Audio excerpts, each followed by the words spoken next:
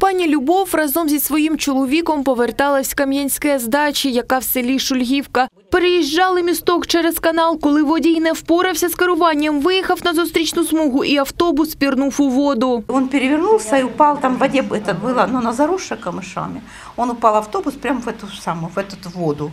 Ну, а потом как-то это сам постепенно стала прибывать в автобус вода. Уже была вот так вот вода.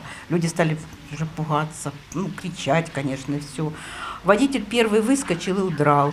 За ним вот женщина вторая выскочила, проси, кричала ему, кричала, давайте же людям помогать. Она с, с переломанной рукой помогала еще вытаскивать. Водій мікроавтобуса благання пасажирів проігнорував і кинувся навтьоки з місця пригоди. Постраждалі вибиралися з транспорту самотужки. Кажуть, більше пощастило тим, хто сидів ближче до виходу. Те, что ехали на двойных сиденьях, они были внизу. Когда стала приступать вода, мы падали на них.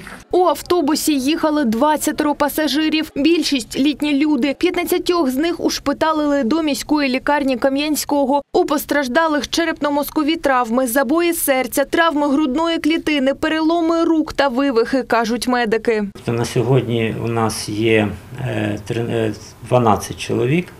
От із них троє залишаються в відділенні анестезіології інтенсивної терапії. Одна в надзвичайному е, важкому стані на апараті штучної вентиляції легенів. От, е, в відділенні політравми знаходиться 9 чоловік, із них четверо на нейрохірургічних ліжках. Найважчий стан у 70-річної жінки, яка не могла вибратися з автобусу. Коли її врятували надзвичайники, легені були наповнені водою. Зараз пасажирка під апаратом штучної вентиляції легень. Пацієнти отримують все необхідне в лікарні швидкої медичної допомоги. Так діагностична, як діагностична, так і лікувальна.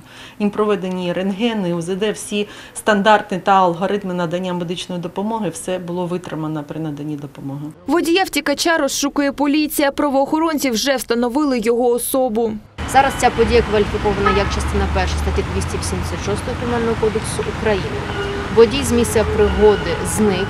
Зараз тривають заходи щодо встановлення його місця знаходження. За фактом ДТП відкрито кримінальне провадження. Водію загрожує до трьох років тюрми. Лідія Дмитрашко, Євген Куденцов, Open News, телеканал відкритий.